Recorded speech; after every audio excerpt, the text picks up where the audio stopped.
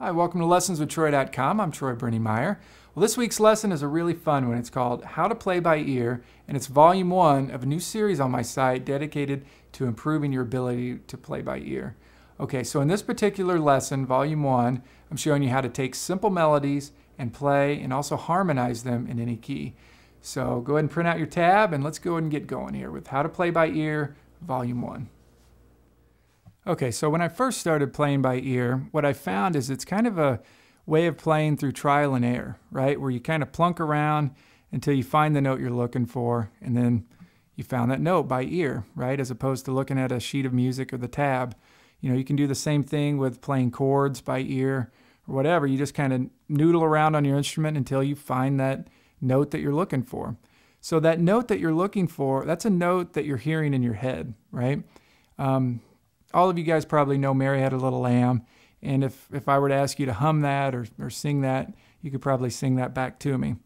Okay, so that's kind of a version of playing by ears that you take whatever you're hearing in your head and you're able to transfer that to your instrument. Okay, and people that have quote unquote good ears, they're able to do that really quickly to the point to where whatever they hear in their head, it's instantly transferred to their instrument. Okay, so we want to get to that point, but between not knowing how to play by ear and getting to that point, that's a pretty long way. But just remember that one of the most basic parts of playing by ear is taking something that's in your head and being able to sing, whistle, hum, or grunt the melody in a certain way to where you can match what you're singing to your instrument and it's going to be in the right key and it's going to be what you're looking for, right?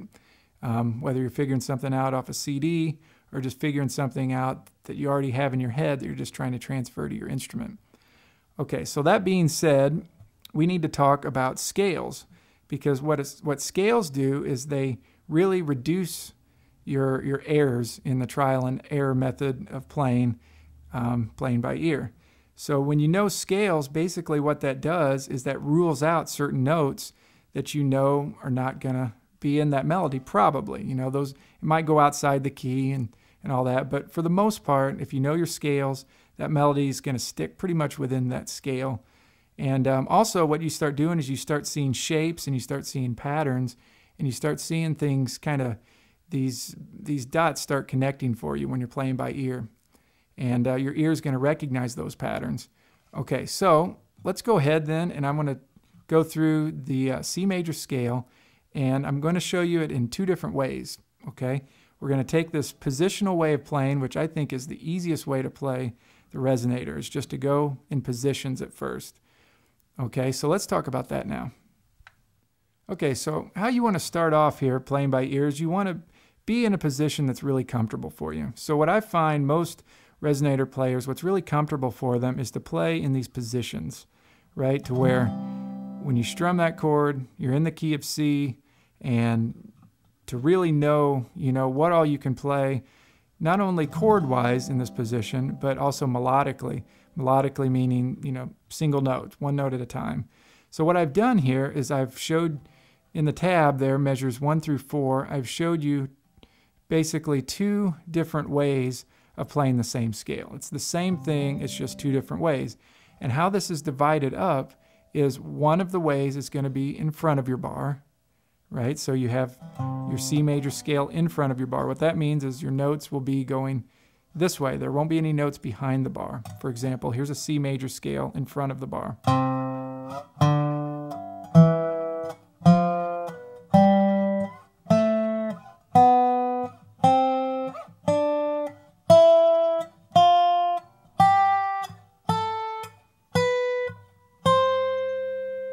Okay, so if you noticed,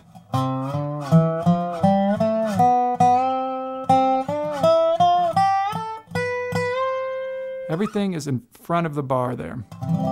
Okay, the second way of playing that is behind the bar, where most of your notes you're going to be getting behind your bar. Let me show you that.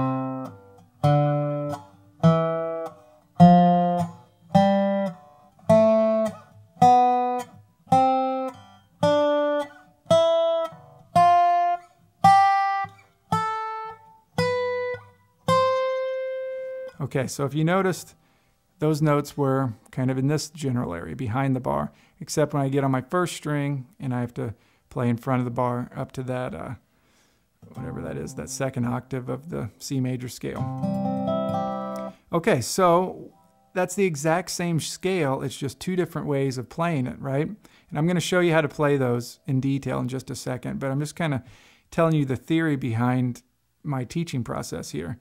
Okay, so what I call this position here, this what I'm getting ready to show you is this is the seed, okay? This is the the first, this is the foundation. Everything's going to grow off of what I'm showing you here.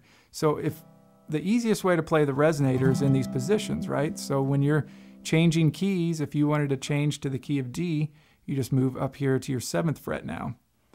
Okay, so if you know these scales in front of your, your major scale where it works in front of your bar and your major scale where it works in back of your bar, and you can you know your your chords, right? Your your positional chords, then you can play everything that I show you today in the key of C, you can play that in any other key as long as you keep within these positions.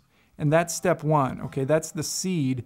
And what I mean by that is things will grow from that seed, right? Once you get basically this, this much of your neck, of your instrument down, these other branches will form from that, kind of around what you already know. So it's not that you learn this and then you learn something else, then you learn something else. You learn this as your as your foundation. This is your seed, and then you're just to keep adding to that like the branches of, the, of a tree and it's just to grow like that too so it'll grow you know out this way to where you know your scales in open position and then you know your scales higher up on your neck maybe higher up on your lower strings. But it all has to start from one location and that's the seed. That's where we're at right here. So like i said the first step in how to play by ear is learning your major scales and um, getting those down really well, and then playing melodies that you have in your head and seeing how they fit within this scale, right? So, how this is going to work for you is sometimes melodies you might want to go and play within the key but play behind your bar. So, if you know your scale behind your bar, you've got notes that you can choose from. If you know your scales in front of your bar, you've got places where you can go. All of a sudden, the neck is starting to make sense to you okay? And it's not just, you know, you have no idea where you're going or no idea what note to choose from, and you're not always have to ju- having to just play melodies up here on your first string or just on one string. Now you can play these melodies within your grips of your chords here. Okay, so that being said, let's go and I'm going to show you exactly how to play this major scale in front of your bar and behind your bar. Okay, solo um, what we're doing is we're following along in the tab here. In the, in the tab, I've got measures one and two, and that's the C major scale, version one, closed position. Closed position meaning we're not using any open strings. We're just in this kind of boxy shape here. And this is first one is going to be the in front of the bar shape. Now a lot of you may already know this, and if you got the video, just fast forward. You don't, you may not need to see this, or you can watch it and it'll just be a refresher course for you. Okay, so what we got is a C major scale. We got C, fifth fret, sixth string, and seventh fret for D. Move to your fifth string, fifth fret, and sixth fret,